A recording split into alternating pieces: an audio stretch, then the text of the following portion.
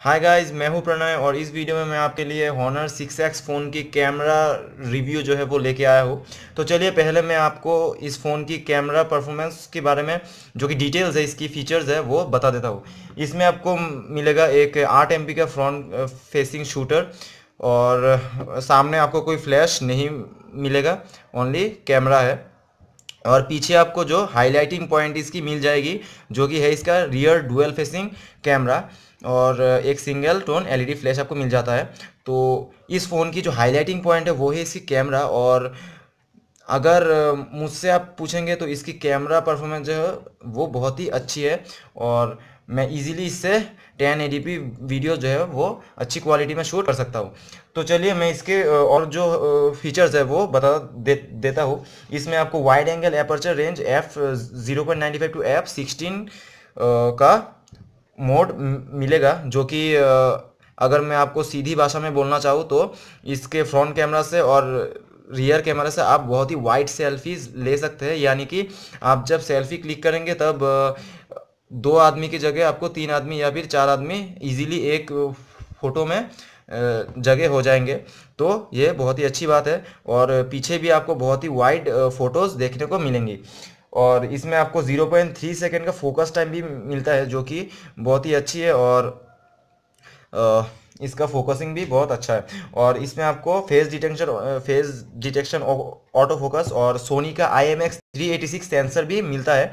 और इसका जो पिक्सल साइज़ है वो है one point two five nanometre का लार्ज पिक्सल साइज़ और पिक्सल साइज़ जो है वो बेटर नॉइस परफॉर्मेंस के लिए मतलब कि नॉइस कैंसिलेशन के लिए वो बहुत ही अच्छा होता है। मतलब कि जब आप फ़ोटोज़ क्लिक करेंगे तब फ़ोटोज़ में कितना नॉइज़ होता है वो कम करने के लिए।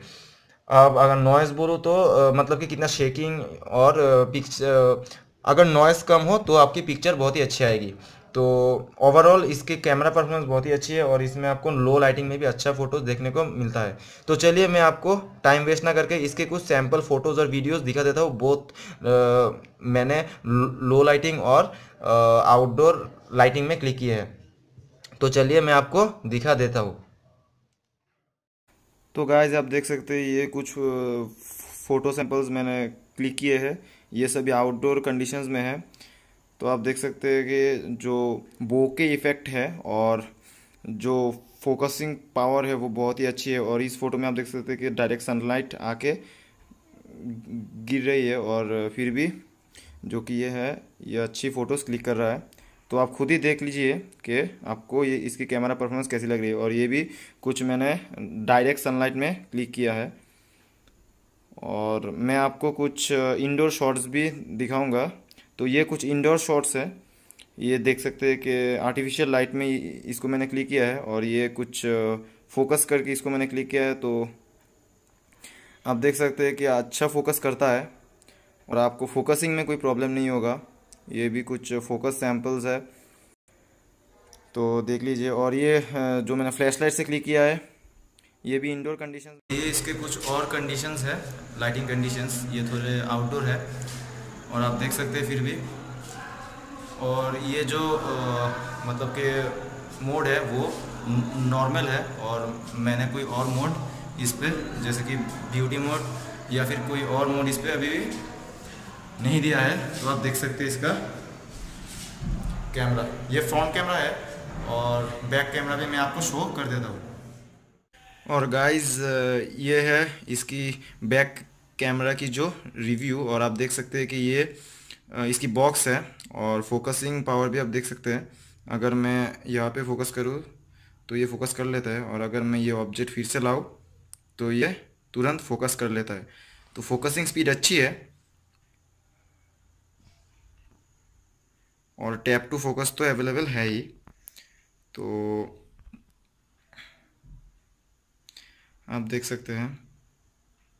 और डिटेलिंग भी अच्छी है। अगर थोड़े पास भी लाओ तो भी ये बहुत ही क्लियरली ऑब्जेक्ट को शो करता है। जैसे कि लास्ट वीडियो में वीवो फ़ोन से ये थोड़े क्लियर नहीं आए थे, लेकिन इस हॉनर सिक्स एक्स से ये बिल्कुल क्लियर आ रहे हैं। ये जो राइटिंग्स है। तो आप देख सकते हैं कि जो ये छोटे हैं, वो भी दिखाई दे रहे हैं।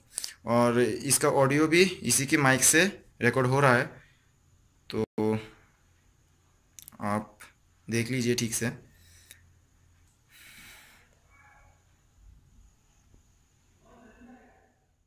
इसके कुछ और सैंपल्स है।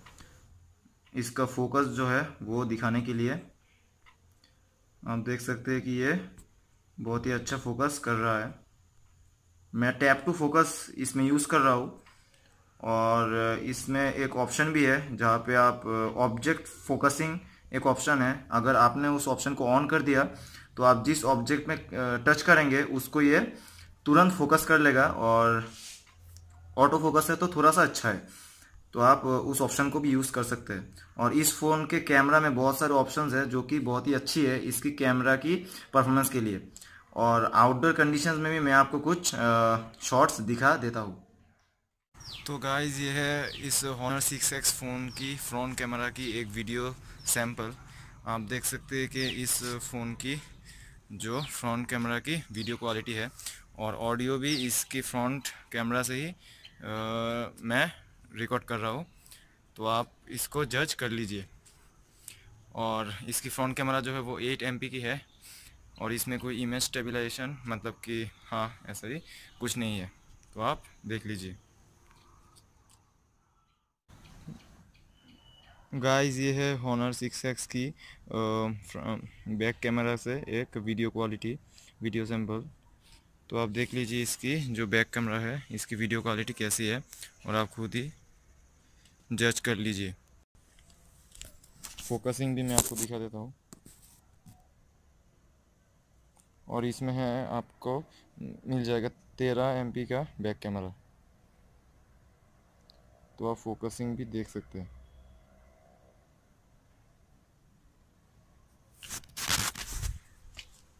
और ऑडियो भी इसकी बैक कैमरा से ही मैं रिकॉर्ड कर रहा हूँ मतलब कि इसकी माइक्रोफोन से। तो आप इसकी फोकसिंग भी देख सकते हैं और कैमरा क्वालिटी भी। तो गाइज़ आपने तो देख ही लिया होगा कि इस फ़ोन का कैमरा का जो वीडियो और पिक्चर क्वालिटी है बहुत इंडोर और आउटडोर कंडीशंस में कैसा है तो आप खुद ही डिसाइड कर लीजिए कि इसका कैमरा परफॉर्मेंस जो है वो दूसरे फ़ोन से कितना अच्छा है। और मुझे जो लगता है कि मैं पहले Redmi Note 3 यूज़ करता था, उससे इसका कैमरा परफॉर्मेंस जो है, अगर उससे Redmi Note 3 से मुकाबला करे तो इसका बहुत ही अच्छा है, और Redmi Note तो इसके पास में भी नहीं आता। और हालाँकि परफॉर्मेंस के साइड में ये इतना अच्छा नहीं है, लेकिन आप फिर भी अगर कैमरा आपकी हाईएस्ट प्रायोरिटी है मतलब कि आप एक फ़ोन सिर्फ़ कैमरा के लिए लेना चाहते हैं और ज़्यादा वीडियो शूटिंग और रिकॉर्डिंग मतलब कि पिक्चर्स आप लेंगे तो आपके लिए ये फ़ोन बेस्ट है। और आपकी और आपको कोई और फ़ोन देखने की बिल्कुल भी ज़रूरत नहीं है तो आप ये फ़ोन बिना झिझक से ले सकते हैं। और परफॉर्मेंस की तरफ़ से अगर बात करूँ तो ये परफॉर्मेंस की तरफ़ से भी इतना बुरा नहीं है इतना हीटिंग नहीं होता और गेमिंग अगर आप करना चाहे तो आ, क्या बोलते हैं अगर एसफल्ट एट आप खेलेंगे तब आपको कुछ लैगीनेस दिखाई देगा लेकिन कोई और भी हैवी गेम्स है जैसे कि नोवा थ्री और क्या बोलते हैं उसको नोवा थ्री या फिर जो कि एसफाल के ओल सीरीज़ है, वो आराम से चल जाते हैं। सिर्फ़ एसफाल डेट में आपको कुछ लैगिनेस दिखाई देगा। और डिस्प्ले क्वालिटी बहुत ही अच्छी है, जो कि कैमरा परफॉर्मेंस को मुझे लगता है थोड़ा सा एनहांस करता है। और कैमरा इसकी बहुत ही अच्छी है। तो गाइज़ इस वीडियो में बस इतना ही। अगर आपको ये वीडियो पसंद आई है और अगर आप इस फ़ोन को लेना चाहते हैं तो आप ज़रूर लीजिए। लेकिन अगर आपका कैमरा मेन प्रायोरिटी है तो ही। तो अगर आप बताए कि 2017 में अब तक मतलब कि फेब्रुआरी मंथ तक, कैमरा के लिए ये बेस्ट फ़ोन है। तो आप इसको ही कैमरा के लिए लीजिए। तो गाइज़ अगर आपको ये वीडियो पसंद आई है तो इस वीडियो को लाइक कीजिए और मेरे इस चैनल को सब्सक्राइब कीजिए ताकि मैं आपको रोज़ ऐसे वीडियोस लाता रहूँ और आप सबको एंटरटेन करता रहूँ। So thank you guys